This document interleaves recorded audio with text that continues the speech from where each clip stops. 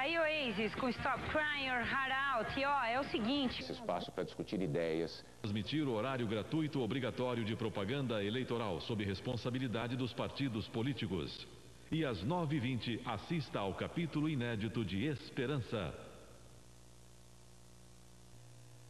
Antes de votar, lembre-se, em toda a campanha, Ciro foi o único a vencer Lula em simulações do segundo turno. Pense nisso. Domingo você vai escolher o próximo presidente do Brasil. Ciro, Lula, Garotinho, Serra. Um bom presidente não promete o que não pode cumprir. Tem que estar preparado para ser presidente. Tem que ter experiência para enfrentar a crise. Ciro Gomes. Preparado, competente, experiente. Hoje estamos terminando uma fase da maior importância para toda a população brasileira e principalmente para os nossos filhos e netos.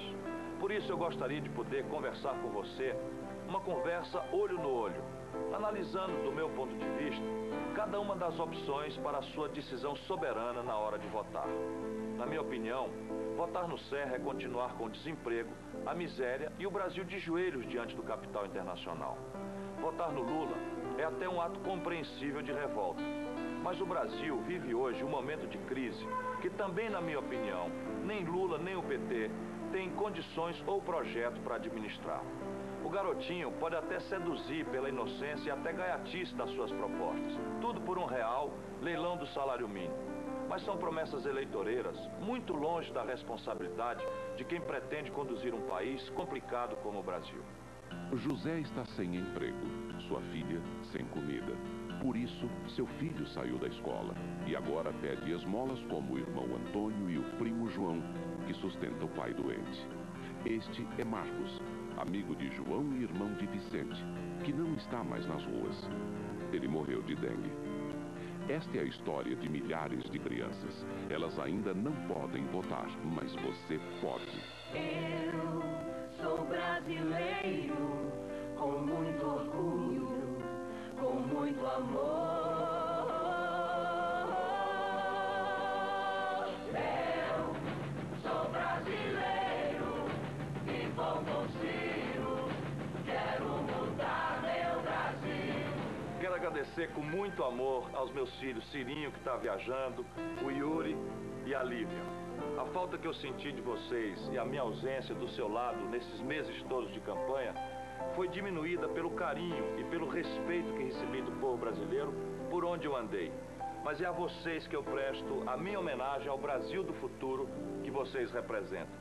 Quero agradecer a minha mãe, Maria José, que eu sei que sofreu muito nessa luta toda. E que tanto trabalhou como minha cabo eleitoral no Vale do Paraíba, em São Paulo. Queria agradecer a uma pessoa muito importante para a minha vida. Minha amiga, minha mulher, minha companheira de todas as horas, Patrícia, que junto comigo, todos os dias agradecemos a Deus por termos enfrentado tanta tempestade e nos sentirmos cada vez mais fortes. A você, brasileiro que já está conosco, continue firme. Nós vamos ao segundo turno com a sua ajuda e o seu voto. E a você que se afastou porque ficou inseguro com essa série de mentiras que inventaram contra mim, peço ainda uma vez que pense um pouco mais antes de finalmente decidir. Pergunte uma vez mais a quem me conhece. Procure saber um pouco melhor e volte para a gente juntos fazer uma mudança segura para o nosso país. Brasileiros do Sul, do Norte, do Centro-Oeste, do Sudeste e do Nordeste, onde está o meu querido Ceará e o povo a quem eu tanto devo. Muito obrigado por tudo. E até o segundo turno, com a graça de Deus. Eu também queria agradecer o carinho que a gente recebeu durante toda essa caminhada. Obrigada, um beijo. 23!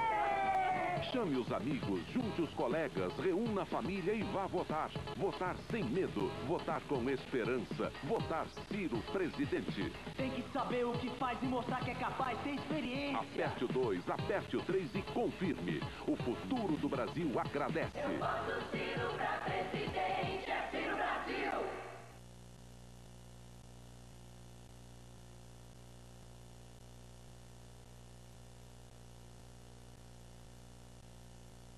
Você que acompanhou o horário eleitoral sabe que a nossa campanha foi limpa, sem ataques, sem agressões. Fizemos uma campanha de propostas para mudar o Brasil.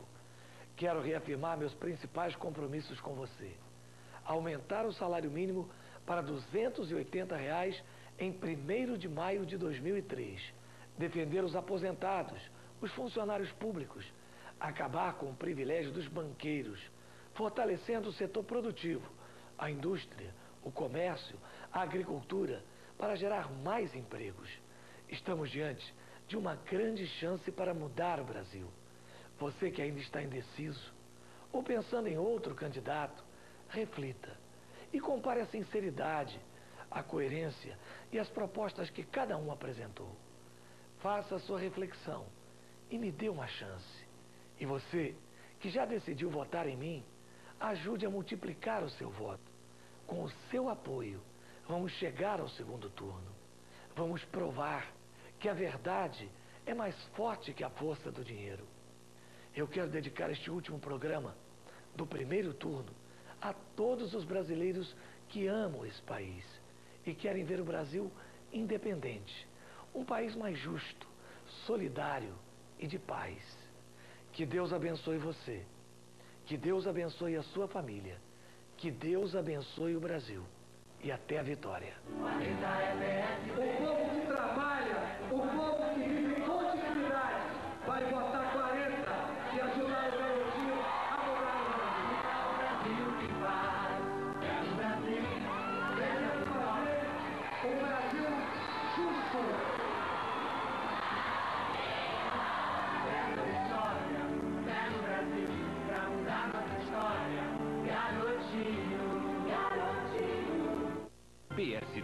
Hoje tem mais um debate, do qual foi excluído quem está contra o FMI. Mas apesar do boicote da mídia, o PSTU se orgulha de ter dedicado sua campanha à construção do plebiscito da ALCA e a discutir a verdade com você. Os outros candidatos, inclusive Lula, aceitaram um acordo com o FMI que vai piorar a sua vida. O PSTU estará com você em toda a luta contra esse acordo, seja quem for o futuro governo. Agora é hora de fortalecer uma alternativa de esquerda, de dizer não à ALCA e ao FMI. Vote PSTU, vote 16. A mudança que você deseja e merece virá com mobilização popular. Eu acredito é na rapaziada que segue em frente e segura o rojão. Eu ponho fé na fé da moçada que não pode dar fé e enfrenta o leão.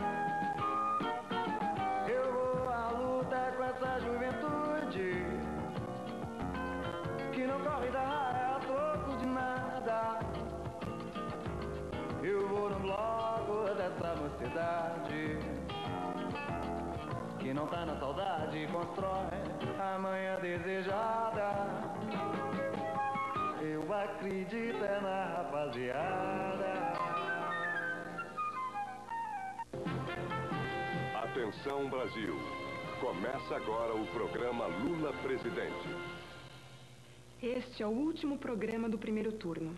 E neste momento, convidamos você para uma viagem no tempo que começou 13 anos atrás. Eram milhões de pessoas nas ruas em todos os cantos do Brasil. Era um sonho de um Brasil livre, justo e soberano, mais alegre e mais feliz, que contagiava todos. E o Lula lá soava como um grito de esperança de um novo Brasil, atravessado na garganta do povo brasileiro. Nas duas eleições seguintes, apesar de não ter chegado à presidência, o PT não parou mais de crescer, acumulando ainda mais experiência política e administrativa. Lula também não parou mais.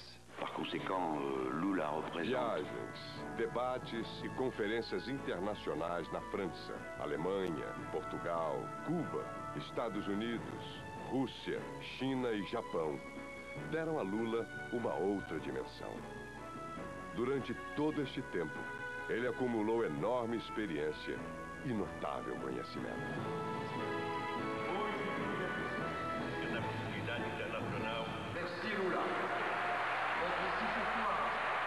E é com a experiência e a maturidade de quem administra com sucesso 186 prefeituras e cinco governos estaduais que Lula e o PT chegam a esta primeira eleição presidencial do século XXI. Tá chegando a hora. Agora só faltam poucos dias para as eleições. Durante todos esses programas eleitorais, vocês viram. Tenho falado exclusivamente dos meus projetos para um novo Brasil. Hoje, quero pedir sua permissão para não falar de projetos. Quero apenas conversar com as mulheres e com os homens do Brasil que estão quase votando em mim, mas que ainda não se decidiram. Vejam, a essa altura existe praticamente três tipos de eleitor. Os que já votam em mim, e eu agradeço a confiança. Os que estão votando em outros candidatos e que merecem de mim o mesmo respeito. E aqueles que estão quase, quase se decidindo a votar em mim. Vejam, meus amigos e minhas amigas, quase Lula. Sei que vocês também querem a mudança do nosso país. Sei que vocês compreendem a necessidade do Brasil ter um governo que vai se preocupar com o desenvolvimento, com o futuro, mas que não vai esquecer os pequenos, os mais fracos, os famintos, sempre tão esquecidos. Eu preciso do seu voto de confiança e, sinceramente, eu mereço essa oportunidade para a qual tanto me preparei. Veja, minha amiga quase Lula. Do mesmo modo que você deseja ser feliz e não quase feliz, o Brasil precisa de uma mudança e não de quase uma mudança. Porque temos que enfrentar uma crise e não uma quase crise. E você precisa de um emprego e não de um quase emprego. Não é verdade? Tenho hoje um grande apoio para governar o país. Dos empresários, dos sindicatos, dos maiores economistas, de dois ex-presidentes da República, Itamar Franco e José Sarney, de políticos de todos os partidos, de importantes lideranças das Forças Armadas. Só falta o seu voto. Pense nisso com muito carinho. Até porque, no dia da eleição, não existe na maquininha o botão do quase. E que Deus lhe ilumine.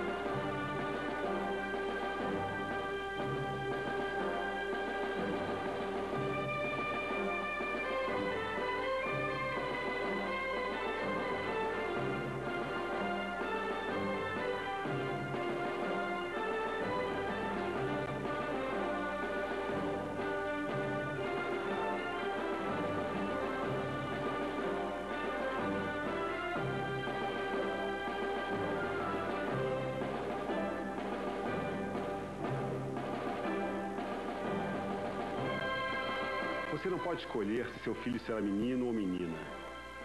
Não pode escolher a sua altura, nem a cor dos seus olhos. Muito menos o que ele vai ser quando crescer. Mas uma coisa você pode escolher. Que tipo de país você quer para ele? Se você não muda, o Brasil também não muda.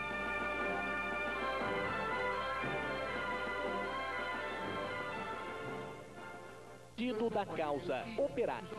O candidato do PT, Lula, está em primeiro lugar nas pesquisas.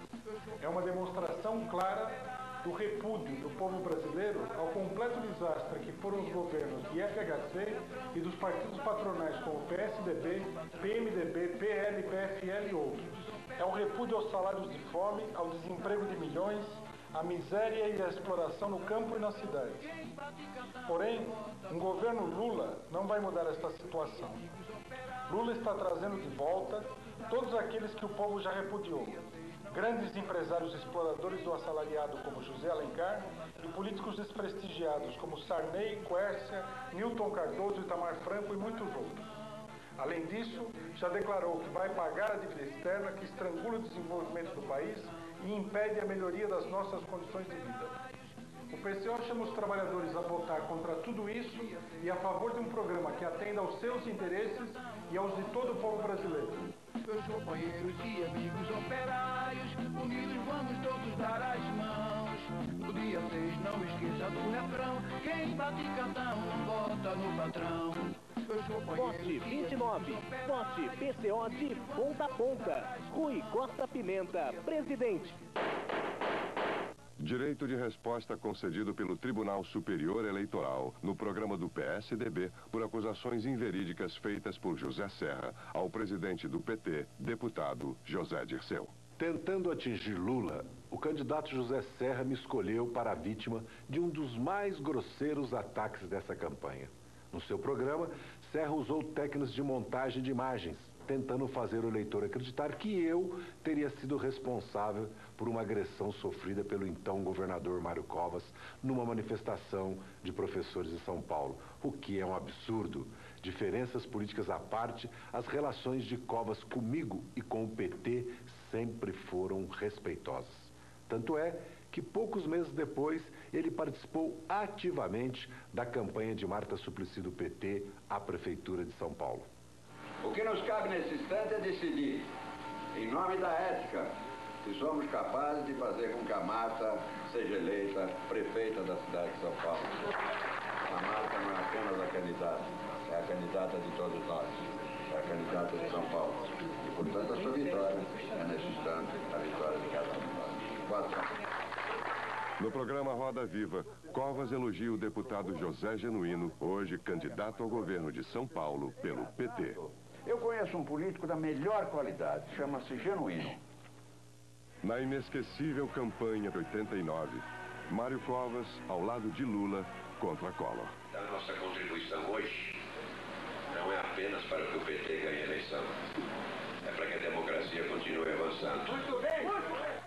O PT, por sua vez, apoiou Mário Covas tanto na sua eleição quanto na sua reeleição ao governo de São Paulo.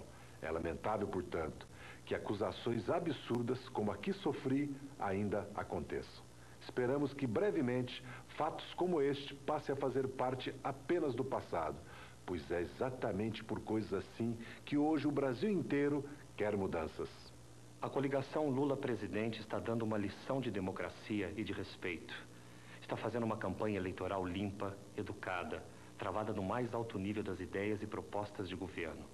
Por tudo isso, se ganhar a eleição, Lula terá vencido não apenas como articulador político, terá vencido também como líder capaz de levar a política brasileira a um novo patamar ético. Faltam quatro dias para a eleição. E o passo que o Brasil vai dar neste domingo deve ser um passo à frente, e não um passo em falso. O Brasil deve escolher o seu futuro, e não simplesmente deixar para ver aonde a sorte vai nos levar. 20 dias de campanha no segundo turno, com dois ou três debates, podem evitar quatro anos de interrogações. Todos nós brasileiros queremos mudança e vamos mudar. Mas é bom ficar claro, pelos nossos filhos, pelas nossas famílias, para onde estamos mudando, para onde estamos indo.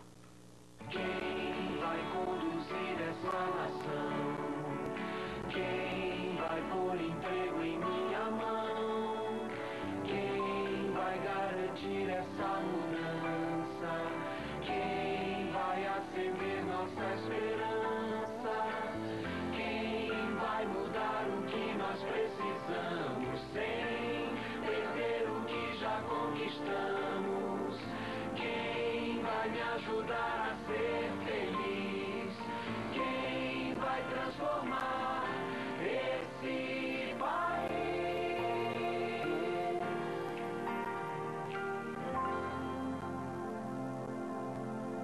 Boa noite. Ninguém assumiu compromissos mais claros com o Brasil e falou mais franca e detalhadamente sobre suas propostas do que José Serra. Logo nos primeiros programas, ele falou sobre as diferenças entre o governo dele e o atual governo. O meu governo será bem diferente do atual em duas coisas. No emprego, pois todos os ministérios vão atuar para criar empregos. E no combate à violência, com o Ministério da Segurança Pública agindo diretamente nos estados. Ninguém falou tanto e explicou com tanta seriedade como e onde gerar empregos quanto José Serra. Hoje é segunda-feira. Para criar 8 milhões de empregos, José Serra vai fazer o Brasil crescer 4,5% ao ano em média e incentivar as áreas que podem gerar mais empregos. Agricultura. Investir mais na agricultura familiar e na fruticultura irrigada. Turismo. Divulgar mais o Brasil no exterior e aumentar de 5 milhões para 9 milhões o número de turistas. Construção civil. Ampliar programas de habitação e fazer obras de saneamento e infraestrutura por todo o país. Saúde. Ampliar programas como Saúde da Família, reformar hospitais e investir em saneamento básico. Educação. Aumentar o acesso às creches, pré-escola, ensino médio e o tempo de permanência nas escolas. Na questão da segurança, outra grande preocupação nacional, José Serra foi bem claro em seus programas e suas propostas. Criar o Ministério da Segurança Pública. Criar um Banco Nacional de Informações, inclusive com digitais de criminosos. Criar a Polícia Federal fardada, para cuidar das fronteiras por onde entram drogas e armas modernas. Criar 100 mil vagas em prisões. Colocar os presos para trabalhar. Reformar e construir presídios de segurança máxima. São de José Serra as propostas que mais se destacaram nesta campanha. Criar a rede Quero Quero de creches e pré-escola para garantir tranquilidade para as mães trabalhadoras. Criar o passaporte da terceira idade, que vai dar acesso gratuito em transportes e desconto na compra de medicamentos. Criar a lei do leite, garantindo leite natural na merenda escolar. Levar os projetos da rede de proteção social às periferias das grandes cidades. Hoje eu quero agradecer a grande atenção que eu tive nesta campanha de todos os brasileiros e brasileiras, das pessoas que votam e das que não votam em mim, e de todas aquelas que ainda não se decidiram. O Brasil me ensinou muito nesta campanha, e se eleito for, quero governar ouvindo o povo, porque ele é o mais sábio e o mais sincero dos conselheiros. Boa parte da minha vida eu passei no exílio, lutando para que a gente tivesse o direito de votar. Por isso, ver o Brasil e as urnas é algo que sempre me toca de perto. Nós lutamos muito por isso. Neste dia 6, o futuro e os sonhos do Brasil vão estar nas suas mãos. Eu caminho para estas eleições com a convicção de que estou fazendo a minha parte. Percorri o Brasil de ponta a ponta, mostrando os meus planos de mudança, mudança segura para o nosso país e pedindo seu voto. Eu não prometi nenhum sonho impossível. Tudo que eu tenho me comprometido, gerar empregos, aumentar o salário mínimo, cuidar da segurança, ampliar os programas sociais para as periferias das grandes cidades, para todos os municípios do Brasil, tudo isso eu vou fazer e vai melhorar e muito a vida das pessoas. Eu convido o Brasil a votar num programa de governo, onde os números dão credibilidade às palavras, porque sem números, sem dizer como, as propostas são só promessas que jamais se realizarão. Eu peço o seu voto para dar a você, aos seus filhos, aos seus netos, ao meu neto que vai nascer em janeiro, um Brasil de crescimento, de oportunidades. Eu quero lembrar que no dia 6 de outubro, dia da votação, é um domingo. Domingo é um dia que a gente descansa, faz planos. Domingo é um dia de fé. Já segunda-feira é o dia da realidade. É o dia de concretizar os planos, os sonhos, para que eles não virem desilusão. E é por isso que eu peço o seu voto, porque eu me sinto preparado para compreender o que os brasileiros sonham no domingo e para trabalhar a cada segunda-feira para tornar estes sonhos realidade.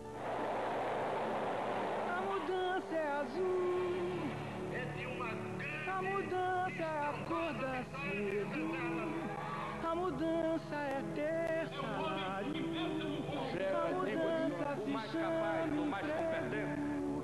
A mudança é de norte a sul. A mudança é sonhar sem medo. É. Oportunidade de trabalho para o nosso povo. chama emprego. Trabalho, trabalho, trabalho. A mudança é azul. Eu queria dizer a partir de mim que o meu candidato, candidato do meu partido, senador José Serra, é o melhor candidato, é o homem mais preparado, mais capaz. Ele é o único candidato capaz de gerar os 8 milhões de empregos que nosso povo tanto precisa.